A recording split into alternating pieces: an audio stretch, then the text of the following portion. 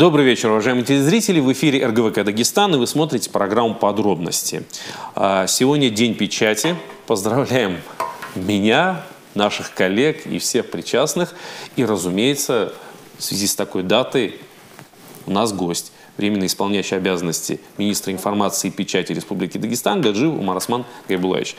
Умарасман Гайбулаевич, я вас поздравляю. Это Спасибо. больше ваш праздник, чем даже мой, потому что уж сколько лет вы в индустрии, скажем так, в сфере. Э, я так понимаю, это вообще не просто день печати, а всех представителей как бы, да, средств массовой информации. Поздравляем. Спасибо огромное. Спасибо. Спасибо за поздравление. Я думаю, что это праздник всех, кто умеет читать. Мне так кажется. Вот возьмем вот так широко. Это прям очень да, широко. Да, да, тогда да, тогда да, это точно мой да, праздник тоже. Да, да, спасибо. А так, естественно, это вот по, скажем, по, по науке, это день российской печати, угу. печатной индустрии, всех, кто относится к этой индустрии. Это средства массовой информации, издатели, полиграфисты, все, кто, кто имеет отношение к периодической печатной продукции. И поэтому, а у нас в республике эта система, эта отрасль достаточно широко развита. У нас есть государственные СМИ, а, негосударственные СМИ, муниципальные СМИ, ведомственные СМИ.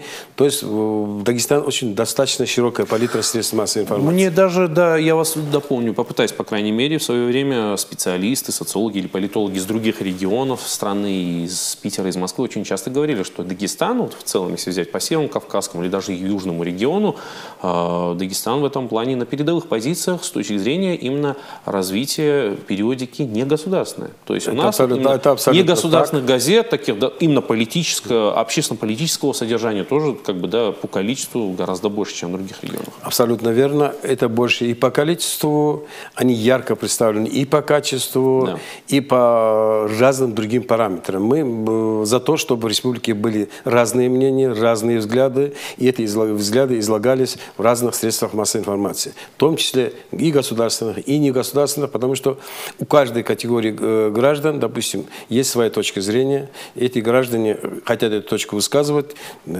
Для того и существуют средства массовой информации, чтобы мы могли дать возможность каждому высказать свою точку зрения. Это, Газет, это принципиально. Газеты нужны разные, газеты нужны всякие. Так именно. Отлично. По поводу Дня печати, насколько я понимаю, э, в том числе к поздравлениям присоединился глава республики Сергей Алимович Меликов. Мы благодарны Сергею Алимовичу за эти поздравления. Скажу почему даже. Потому что в нашей отрасли работает огромное количество людей. Эти люди делают очень полезное, необходимое обществу дело. Работают профессионалы, высокого уровня профессионалы, и каждый из сегментов этой отрасли.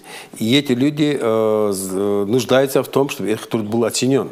Да, их э, вклад в развитие республики было по достоинству оценено. Поэтому э, поздравление главы республики есть э, оценочные да, параметры, где он высоко оценивает вклад э, средств массовой информации и надеется, что дальнейшее участие средств массовой информации в обсуждении общественно-политических тем, сохранении культуры, самобытности, языков, будет усиливаться эта роль, потому что средства массовой информации – это мост между властью и обществом, это возможность э, гражданам высказать свою точку зрения, довести его до, до органов власти, и органов власти есть возможность, э, скажем, э, рассказать о своих решениях, о своих видениях предстоящих проблем, и это должно быть вот взаимосвязано. Ну, помимо и... этого, помимо того, что это мостик между обществом и, условно говоря, властью, чиновниками, неважно, это еще и некая витрина Дагестана перед скажем так, остальными регионами страны, да и не только страны. Ну, здесь, здесь все упростилось до минимума. Сегодня средства массовой информации, да, которые присутствуют в сети интернет, он становится достоянием мировым. Да, вот с таким же успехом, как в Махачкале, за, скажем, газетой «Зори Табасарана» можно наблюдать в Нью-Йорке, Вашингтоне или в Лондоне. То есть это, этот, э, эта доступность с любой точки мира придает этому изданию дополнительный, э, скажем, статус, мне кажется, и дополнительную ответственность. А, Марсан Габилович, по поводу ответственности. Вот э, мы до съемки долго об этом тоже спорили, по крайней мере, начали это, эту дискуссию. Не могу об этом не упомянуть, э, особенно учитывая, что День печати. Э, есть, условно говоря, в, бытует э, среди обывателей такое понятие, как некая конкуренция. Очень условно, я сейчас подчеркиваю, очень условно. Вы меня неоднократно поправили до съемок, но все-таки я повторю эту фразу. Вот очень условно. Конкуренция СМИ и интернета. Я подчеркну, что под интернетом, разумеется, им подразумеваются некие неофициальные источники информации, или даже так, они как таковыми источниками информации, они становятся по факту, это некие могут быть какие-то частные лица, блогеры, влогеры и так далее.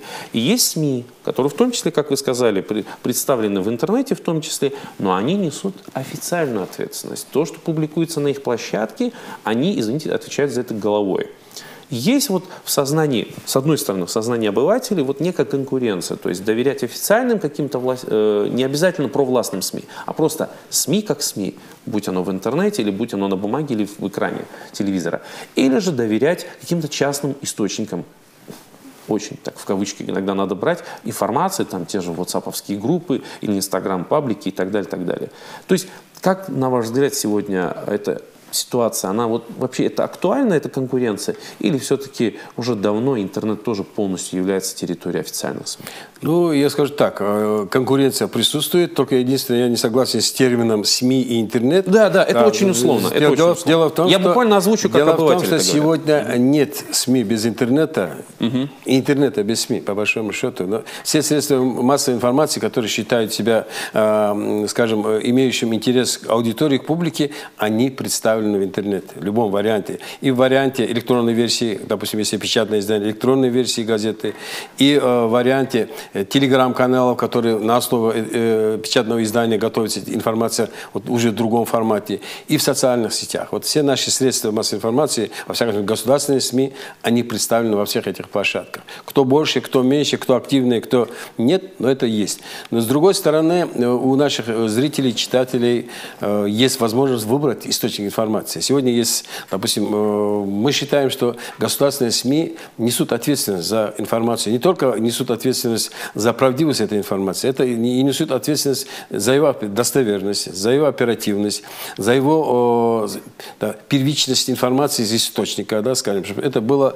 Да. На что вы ссылаетесь? Да, да. Но с другой стороны, э, иные, скажем так, не государственные СМИ или, скажем, блогеры. Даже или, не СМИ вообще. Или, да. или вообще не СМИ, угу. или телеграм-канал каналы, они свободны в высказывании своей точки зрения. Они могут предположить, они могут высказать, э, скажем, прогноз, не гарантируя исполнение этого прогноза. Здесь есть широкое поле деятельности, и и вся эта площадка является ну, для, скажем, любого человека, который интересуется информацией, вот таким, там надо выбирать, что тебе интересно, Я... кому ты доверяешь, да. что является для тебя. Да. Я думаю, что наши зрители очень часто читают и то, и другое, и сравнивают. И это тоже здорово. У них есть возможность сравнить два источника информации и попытаться составить собственное мнение об этом деле. И тут мы не можем, опять же, не упомянуть про интернет, э, как наиболее развивающаяся э, площадка именно средств донесения информации да, до конечно, конечно. конечного потребителя. И то, собственно, чем сегодня занимаются СМИ. Я позволю себе некую градацию провести. То есть, если очень так э, грубо галопом по Европе пройтись, то есть дагестанский сегмент информационный интернета, он подразделяется на три составляющие. Это получается Telegram, Инстаграм и YouTube. Ну, что-то почему-то как-то YouTube очень условно. Значит, получается, Instagram, он как пере... Вы меня поправьте. Это, я да, вижу, я, как... Я, да, я, я вижу... поправлю. Я, я не, не совсем согласен. Да-да-да. Да. Я, я говорю, как это выглядит со стороны обывателя. Потому что я все-таки, вот даже находясь в этом кресле, вы, вы понимаете, по каким причинам, я все-таки в большей степени обыватель, чем журналист. Значит, Инстаграм это у нас, как правило, новости, горячие, свежие, сразу в эфир. Картинка. Видосики, да. Телеграм – это такая уже более насыщенная, более аргументированная информация и очень часто с намеком на инсайт, либо на аналитику. Ну, возьмем так, скорее назовем ее так, аналитика и инсайт. Аналитика и инсайт. И э, ютубчик, ютубчик у нас остается для развлекаловки, как правило. Вот, э, вот эта градация, как ее видит, например, условно говоря, обыватель в лице меня – ну, да, Поправьте да, меня. Да, давайте так. Ну, достаточно, ну, для обывателя слишком вы подготовлены, да? скажем так.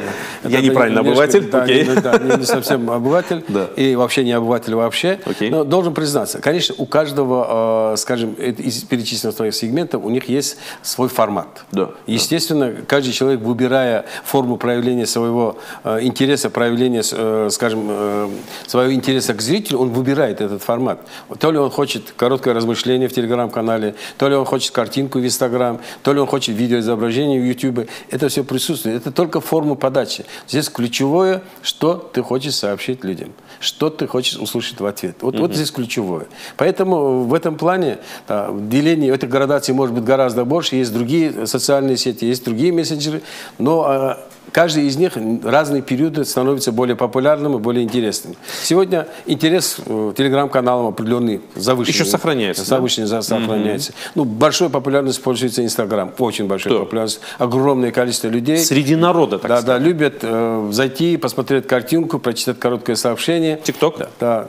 Ну, ТикТок это уже больше молодежная э, среда, где Но молодые, набирает обороты. Да, набирает обороты. Это, это неизбежный процесс. Мы идем в Условно говоря, та же Дагправда есть сегодня в ТикТоке? Дагправды в ТикТоке нет, но есть Дагправда во всех других сферах. Да, так... А должна быть она в ТикТоке? Я думаю, что так в ТикТоке в первую очередь должна быть молодежь Дагестана, скажем, или орленок, Дагестана, или орленок Дагестана. И, так, и я вам скажу, и Дагправде не повредит да. присутствие, потому что э, это газета общественно-политическая да. для широкого э, читателя, зрителя.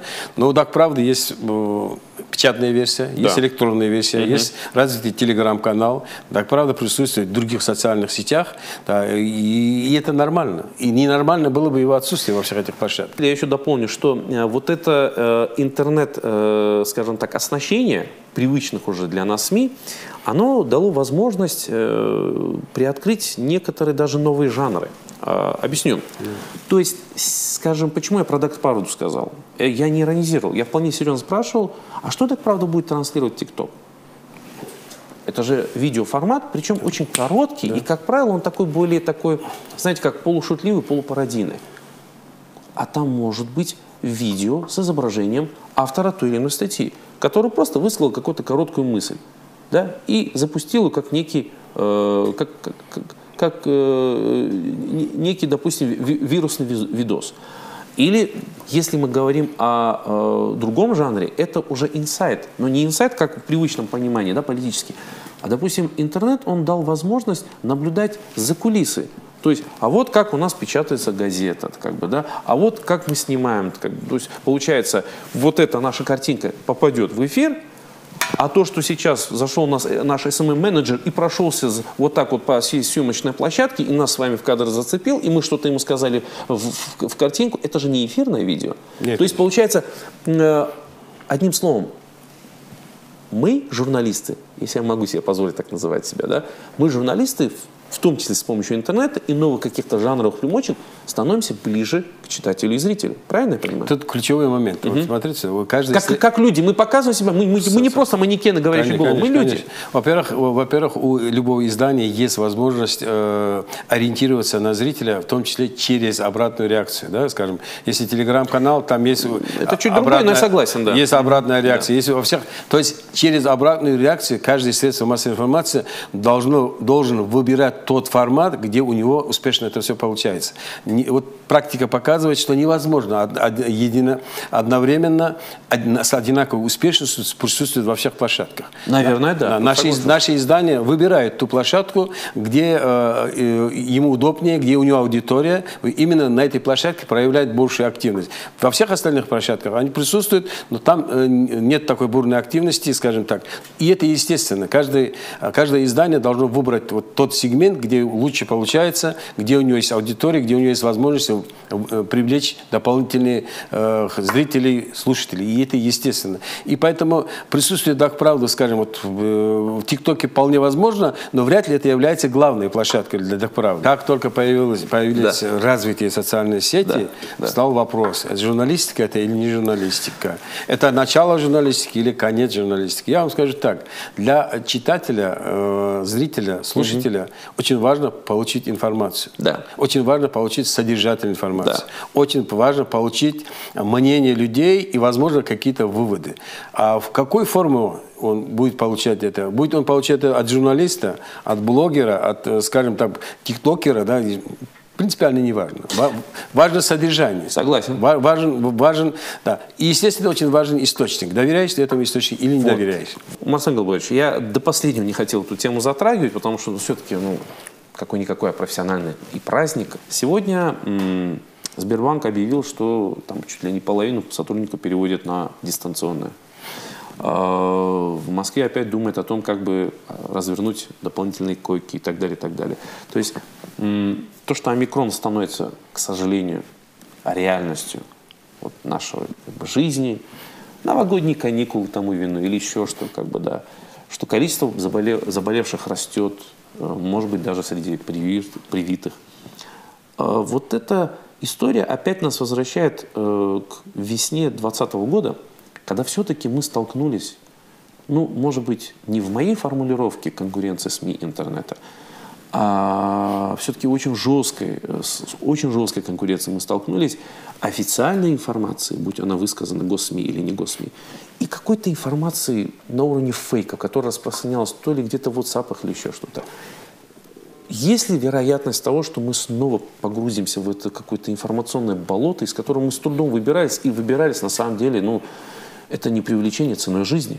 И ну, я, я, я, я должен, э, во-первых, спасибо за этот вопрос. Угу. Это на самом деле актуальный вопрос. Какой бы ни был праздник, какое бы ни было событие. Ну, мы сегодня равно, реальность такова. Мы, мы, мы живем да. в условиях, когда мы все время должны оглядываться на э, эпидемиологическую ситуацию, на то, как э, развивается дело в обществе. Дело в том, что сегодня я не вижу проблемы с информацией в средствах массовой информации, в том числе и официальной информации. Сегодня в ежедневном формате публикуется э, как э, количество заболевших, количество выздоровевших. Более того, они публикуются в разрезе буквально чуть ли не каждой больницы. Поэтому информация, она есть, она достаточно широкая. И я вам скажу, главной темой уходящего, ушедшего года в средствах информации была именно ковидная тема. Именно была информация... Количество вакцинированных в том числе? Да, да. количество вакцинированных, это статистическая информация, это само собой, она присутствует, она постоянно... Главная информация была попытка уберечь людей от э, этой опасности. Попытка убедить людей, что опасность существует, и единственный способ уйти от этой опасности – вакцинироваться. Это, это, это был главный посыл. На это э, активно обращало внимание руководство республики, оперштаб э, по борьбе с, с ковидом. Да? Мы об этом очень часто говорили и ориентировались. Наши средства массовой информации, э, скажу, как государственные, так и негосударственные, были озабочены этой тематикой. И сегодня мы продолжаем потому что проблема никуда не ушла.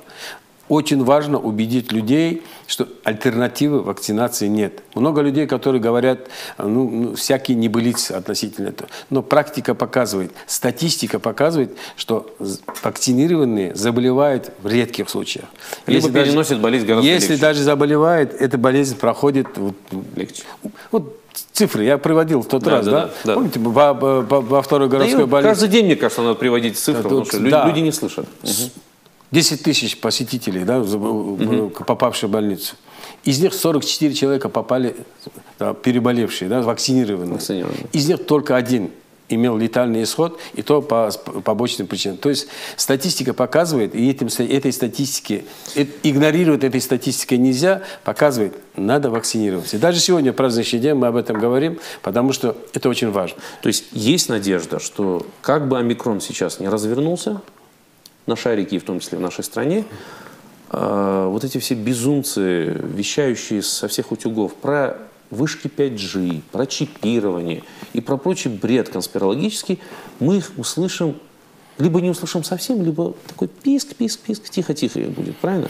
Ну, есть такая надежда? Я, я, я хотел бы, чтобы люди... Что, мы, что я... просто нормальная официальная информация просто забьет этот весь вот, вот я как раз хотел бы, мусор. чтобы люди слушали, доверяли официальной информации, у которой есть адрес, фамилия, имя, которые несут ответственность юридическое за свои слова. лицо и да. которые несут ответственность за свои слова. Не доверяли всяким сомнительным источникам, да. Прежде всего доверяли вот соседу, рядом угу. кто переболел, или тому, кто не переболел, потому что вакцинировался. Лучше этому доверять, чем неизвестно вот, кому. Вот на этой ноте, к сожалению или к счастью, мы вынуждены завершить. Друзья мои, э, сегодня День печати. У нас в гостях, разумеется, был временно исполняющий обязанности министра информации и печати Республики Дагестан Гаджиев Умарасман Гайбулаевич. И э, Гайбулаевич, конечно, очень демократично и лояльно озвучил, что День печати – это праздник тех, всех тех, кто умеет читать. А я решил сузить, как итог нашей передачи, совсем сузить. День печати это, – это праздник людей, несущих реальную ответственность. Согласен. Вот, вот последняя формулировка вот. вполне уместная. Я с большим удовольствием соглашусь, да, с, особенно с последним аргументом. Да, поэтому, друзья мои, ответственны вы наши. Марсан Галпович, вы тоже у нас ответственный, Спасибо. мягко говоря. Самый главный у нас ответственный за все это дело, за информацию. С праздником. Всего хорошего. Не болейте. До свидания.